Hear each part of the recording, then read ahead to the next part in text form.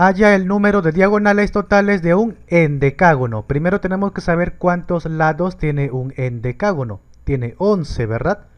Así que n es igual a 11. n es el número de lados.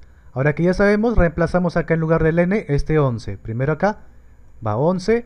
Ahora la fórmula dice abre paréntesis y adentro 11 menos 3 restando sale 8. 8 por acá. Y debajo el número 2.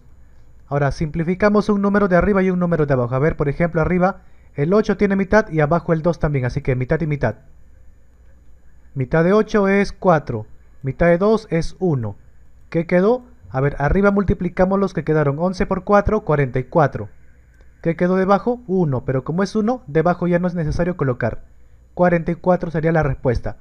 Otra forma sin simplificar es multiplicar de frente 11 por 8, 88. 88 entre 2, 44. Sale igual. Entonces tiene 44 diagonales el endecágono.